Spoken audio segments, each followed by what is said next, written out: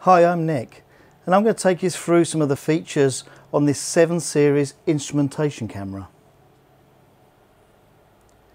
Okay, let's talk about the front of the camera first of all. On here we have a removable lens mount which allows us to fit many different kinds of lenses to this camera. We can fit a Nikon F mount, we can fit a Nikon FG mount with an automated iris and we would then adjust the iris via a control on the side. We can also fit a Canon EF mount for remote focus and iris control. Or we can fit a C mount for those lower resolution, higher frame rate users. Okay, moving to the side panel, you can see here we have the optional xSSD side panel installed, which gives us some extra features. We have an additional HDSDI output here, which gives us three in total. We have a one and a half amp 12 volt accessory output, and then we have the xSSD. And so we can then use that to record from the memory of the camera down to the xSSD. We do this, once we're done, we can then just open the flap and pull that card out and we have one terabyte of storage.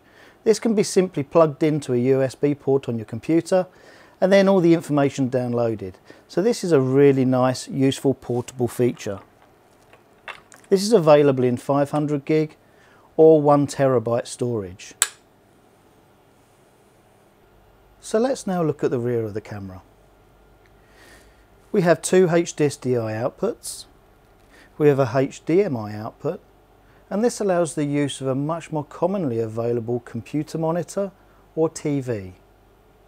We then have USB 3 which allows the camera to download from its internal memory down to a USB stick or a hard drive.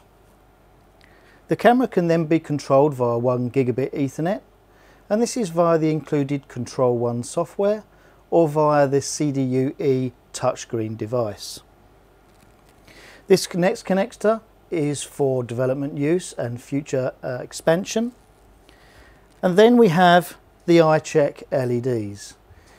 These are new from our i-SPEED 3 range in the fact that they're now 360, so you can now see them all the way around the camera.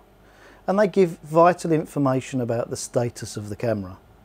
We'll show the details of that in another video. Then we move down to the intake of the camera which has a filtration system that can be removed, cleaned and then reapplied to the camera. At the base of the camera, inside, is a twin one hour full operation battery. And this allows you to have control, record, play and save all purely on battery uh, running control. We then have the power switch. We have the power input, which is 12 volts to 36 volts at approximately 150 watts.